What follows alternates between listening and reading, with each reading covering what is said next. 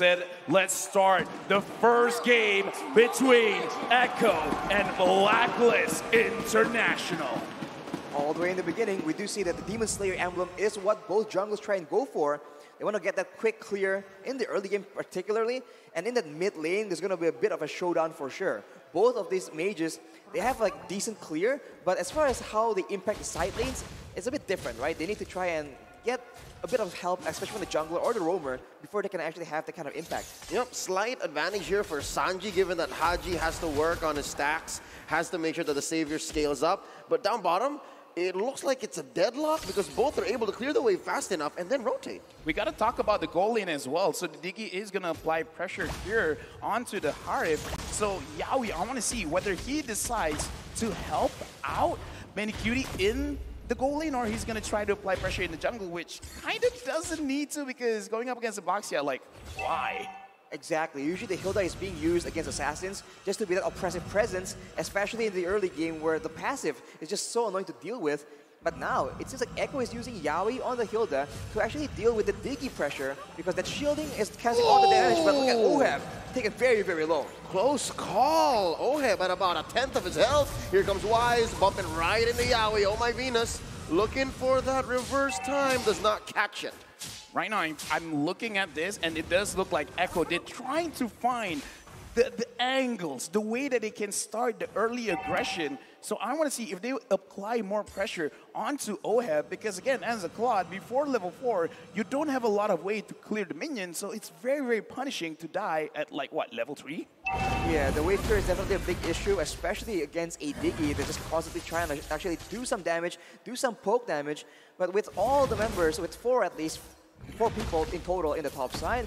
Doesn't seem like Echo is going for the turtle, but Blacklist is trying to contest it. Yep, Wise looking for it. Sanford spots him. There's the box by Sanji. Real revelation. Turtle scared by Carl, and Sanji takes down Wise. When we look at this lineup, this is what we were predicting Echo. They're going to start the charge. They're the one that is going to say, I'm going to have tempo. And Blacklist, they got to answer this by not dying a lot. And now Rashi, looking at the items, anything that we have to pay attention to. Does seem like Sanji is going straight for the Enchanted Talisman. With how he's performing, he's going to be using a lot of mana, so it makes a lot of sense. Later on, there'll be a bit more damage being built on his side, but oh my Venus almost gets taken out as Oheb now just goes face-to-face -face against Yawi. But he is still on the tank emblem, so tanky, doing a decent amount of damage, especially in the early game, making the best use of that Hilda. Well, now we got to talk about the Hilda, but before that, Sanford and Edward 1v1. Is there really going to be any big trades here? I don't think oh! so, but on oh! top, oh, head goes down. Oh no, and the box wasn't even there, so this is just the pure raw power of a Hilda. Yeah, I, I kind of want to talk about that as well, Arashi, where a Hilda pressuring, sure, but pressuring the goal lane, how does Yawi do this? Like, what is he really taking advantage of? He's just taking advantage of the fact that Blacklist doesn't really want to stay and be passive in the lane, so he just stays around there and just keeps moving in and out of vision. And, you know, sometimes it works out, sometimes it doesn't. But the point is, he's being a disruptive force, just taking away the focus of Blacklist oh, from the rest of the map. Look at that! gets a 1v1 question mark, and Whoa. there's bodies falling for Blacklist all across the map.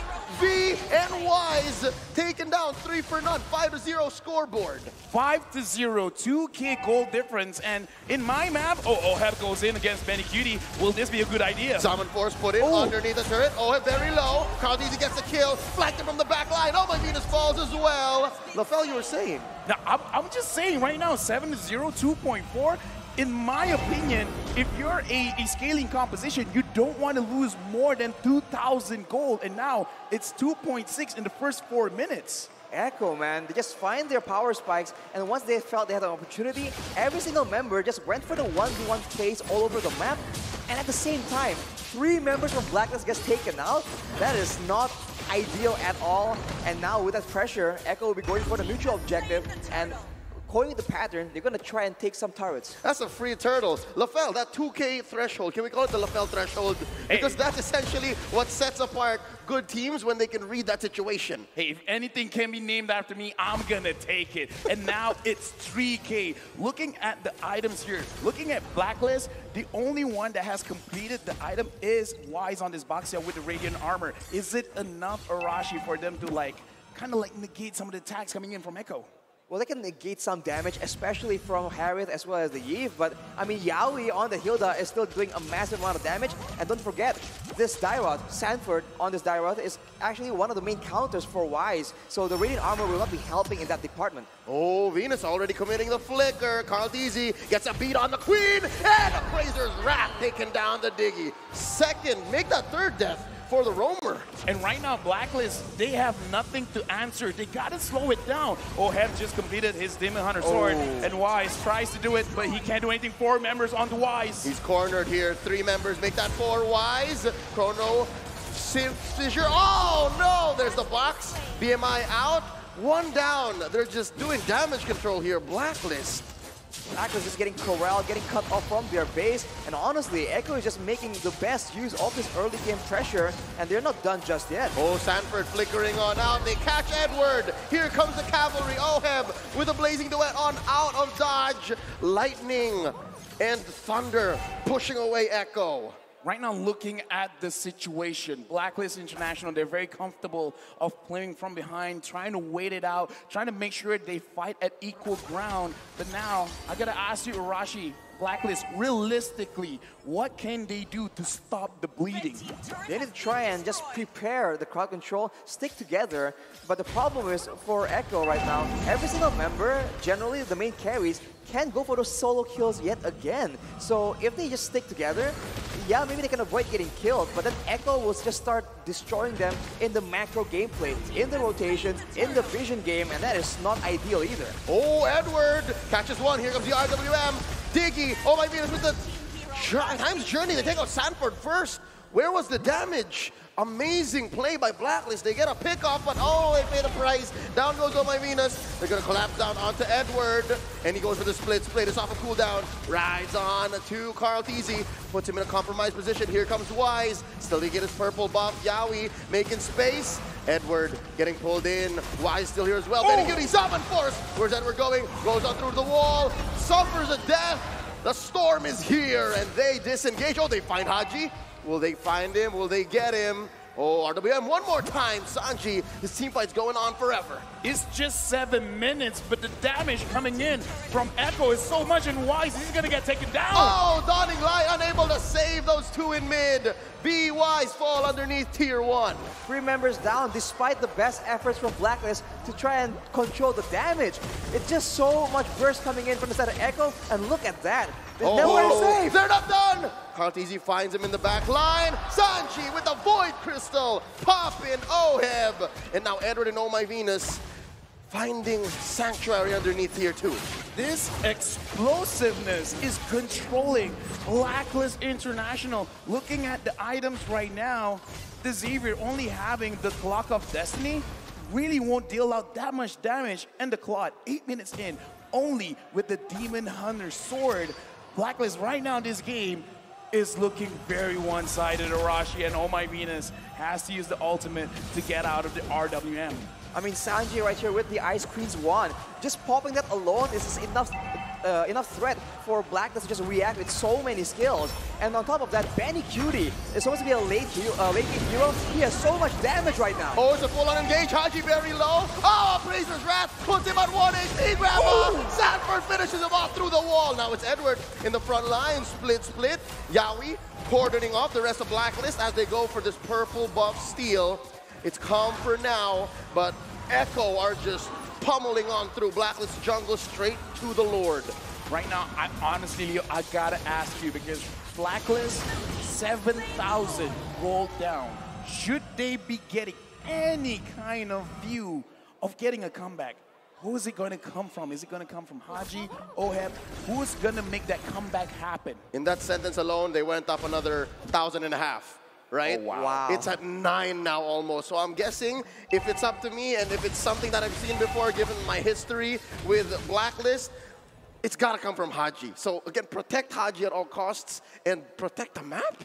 I, I have agree with that statement, man. Hadji is the one with the wave clear. Hadji is the one that later on, I guess, can just do a lot of poke damage with a Dawning Light. So I think he's a big factor. And if Echo still goes with his aggressive style, he's the one with the Mystic Field that can stop a lot of this playmaking. But look at that. Just, it's so aggressive coming in from Echo. Oh, look at the angle that Yawi and Carl are drawing. Concealed play by Yawi. Disengages, pushes them away, allowing Carl to steal the orange. Right now, Echo, they're really pushing hard because Lord is coming up top.